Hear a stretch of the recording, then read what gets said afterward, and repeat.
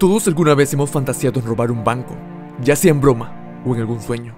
Bueno, pues hubo una persona que un día muy aburrido se preguntó, ¿se podrá robar un banco sin lastimar a la gente?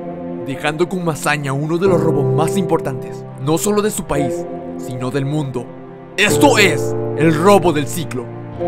Todo comienza con Fernando, un artista dedicado a la pintura, y además de su gusto a las plantas exóticas, un hombre como cualquiera de nosotros, hasta que una noche mientras caminaba muy aburrido por la calle, persigue su porro siendo arrastrado por el agua de la lluvia hasta el drenaje. Pero en ese momento algo dentro de él se iluminó y se le ocurre una idea.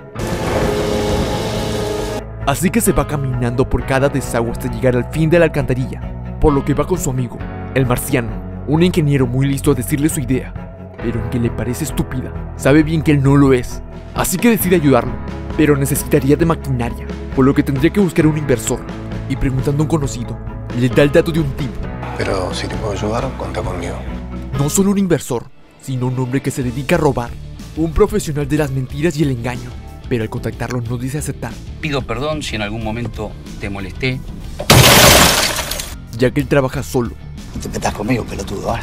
pero su amigo al recomendar a Fernando decide darle una oportunidad, así que al encontrarse, Fernando para convencerlo le dice que sabe cuál es su mayor problema por el cual lo meten a la cárcel, A ver, ilustrame, por favor. porque robas de a poco, y si te propongo un solo atraco, el más importante de tu vida. Pero antes de que decidas quiero mostrarte algo, así que lo lleva cerca al banco y lanza una pequeña cuerda por la alcantarilla. Estamos a 18 metros de ser millonarios. Así que en su departamento comienzan a explicarle todos los puntos que deben evitar en el banco, como los sensores de movimiento, Pero vos decís que tenemos que entrar al banco con bolsas de dormir, así disfrazados. ¿Sí? Sí. Aunque Mario seguía sin estar seguro de su plan, ya que uno sabía cómo abrirían la bóveda. Pero Fernando le dice que antes de eso, deberían conseguir los planos del banco. Así que con ayuda de sus compañeros, logran hacer cálculos del tamaño del túnel y la distancia correcta para que llegue a un cuarto que estaba debajo del banco. Pero para ese trabajo, necesitarían de más gente. Luego de varias semanas comenzando a hacer el túnel, ya con 7 metros hechos, hay un pequeño derrumbe, lo que les malogra el taladro. Esto está hecho mierda. Pero al pedir uno de nuevo, Mario le pregunta a Fernando si ya sabía cómo abriría la bóveda. Y con la verdad, le dice que aún no sabe hasta ahora cómo lo hará. Mario molesto le dice que esto se acabó y ya no va a financiar nada. Y se va.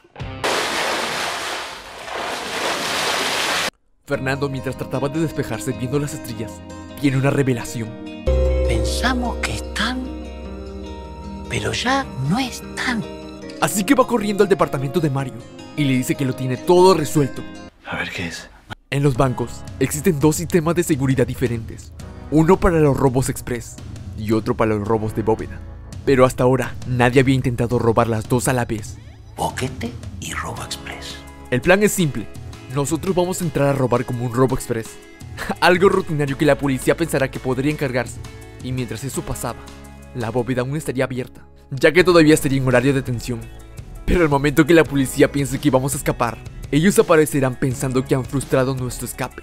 Pero en realidad, nuestra salida sería el túnel. Salir. Por lo que días después, ponen en marcha el plan. Un grupo iría como encargados de mantenimiento. Otros entrarían por la cochera, comenzando el atraco.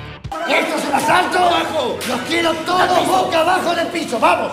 La etapa 1, retener a los rehenes. La etapa 2, sacar del cuarto de seguridad al vigilante, ¡Salí porque la mato! Te la mata, lo conozco, te la mata. que era de mucha importancia que salga. La etapa 3, apagar las cámaras. Etapa 4, abrir la entrada del túnel. Amigo, Etapa 5, el cañón Power. Una máquina que rompería todas las cerraduras de la bóveda. Pero en cuestión de horas, llega el jefe de la policía. Este decide comenzar las negociaciones con Mario, pero él ya estaba preparado, es el manual de negociación del Grupo Halcón. ya que él era el único capaz de poder distraer al policía durante suficiente tiempo. Y para perfeccionar sus dotes del engaño, se había metido a talleres de actuación.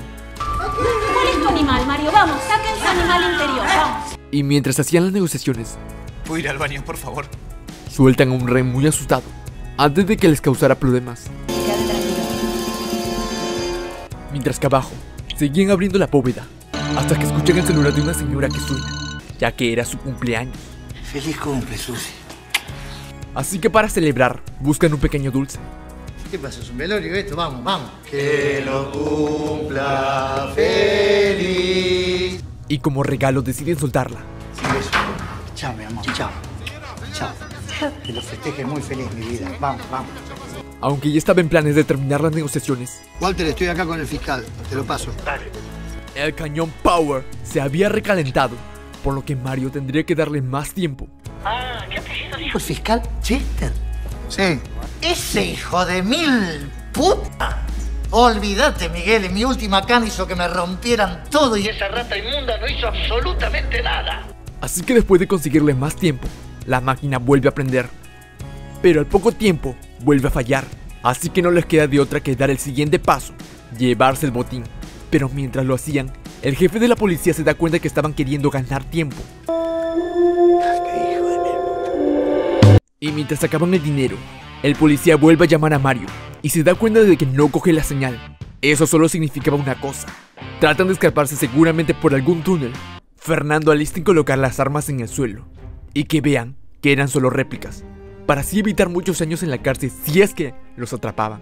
Mario y Fernando se alistan para escapar por el túnel, sin antes dejar un mensaje a la policía.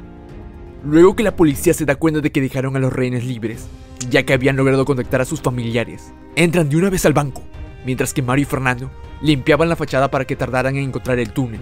Al bajar con toda la plata, habían construido un dique para poder meter pequeñas balsas y llevarse el dinero.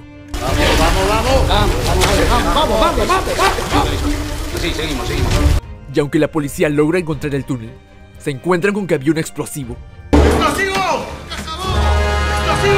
Pero al confirmar que las armas eran réplicas, decide meterse al túnel. Pero la banda ya había avanzado varias cuadras y con ayuda de su amigo abren la alcantarilla para sacar el millonario botín, uno por uno. Mientras la policía los seguía y ya con todo listo, escuchan una patrulla acercarse. Esta debe ser la combi más cara del mundo. Pero ellos ya estaban muy lejos del atraco, mientras la policía leía, en barrio de ricachones, sin armas ni rencores, es solo plata y no amores. Qué hijos del puto. Pero eso ya no importaba, ya tenían el botín frente a ellos.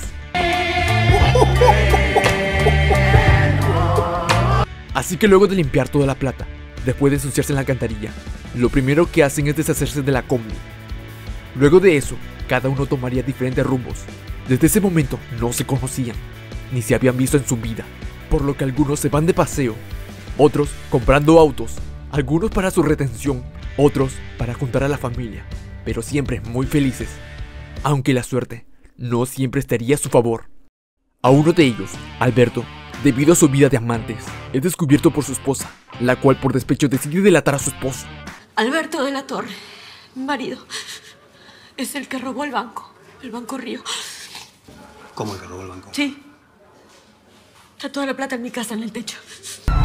Comenzando así la cacería, uno por uno van cayendo, Jefe, cayó Walter del Banco Río. Me chupa huevo. aunque Fernando trata de fugarse, escucha cómo la gente inventaba historias acerca de los miembros del conocido robo del ciclo.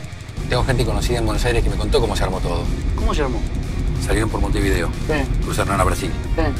La guita ya está toda invertida allá. El cerebro del golpe no es un tipo cualquiera. Es un político muy, muy conocido de Buenos Aires. A esta altura de estar por Miami o en alguna isla donde no lo conozca nadie. Pero a pesar de irse a lo más recóndito del país, tarde o temprano lo encontraría. Comando atento, parece que tenemos al sospechoso que están buscando.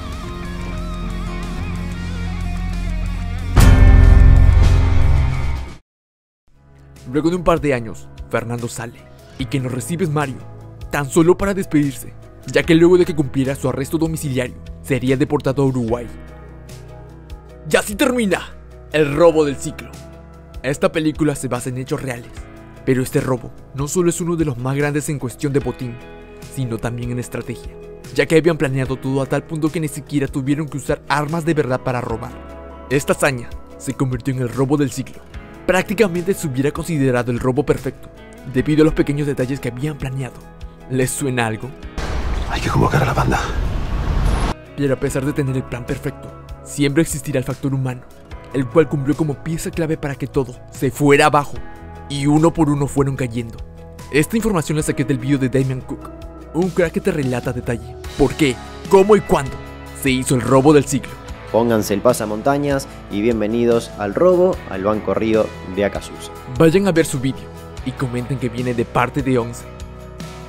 Si te gustó, dale like y suscríbete para que veas más resúmenes.